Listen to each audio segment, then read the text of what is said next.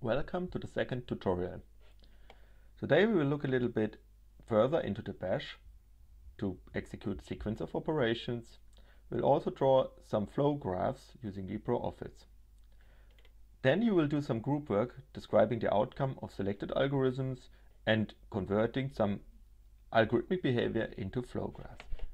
Note that today's session is slightly longer than normal, so we will use a little bit of time from the exercises as they are rather short this week. So we will find four topics today and each of them with a short amount of time. So let's keep in time and let's get started.